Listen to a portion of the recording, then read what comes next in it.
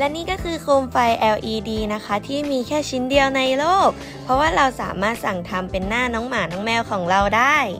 ตัวโคมไฟอันนี้นะคะ ก็จะเป็นอะคริลิกค่ะ แข็งแรงมาก แล้วก็เป็นสายเสียบ USB ไว้เสียบกับไฟ เอาไว้วางตกแต่งห้องน่ารักสุดๆ ระหว่างวอดก้าตัวจริงกับวอดก้าในโคมไฟอันไหนน่ารักกว่ากันครับพี่ๆถ้าอย่างเรามีหลอดจะพลาด อย่าลืมไปสั่งกันนะคะ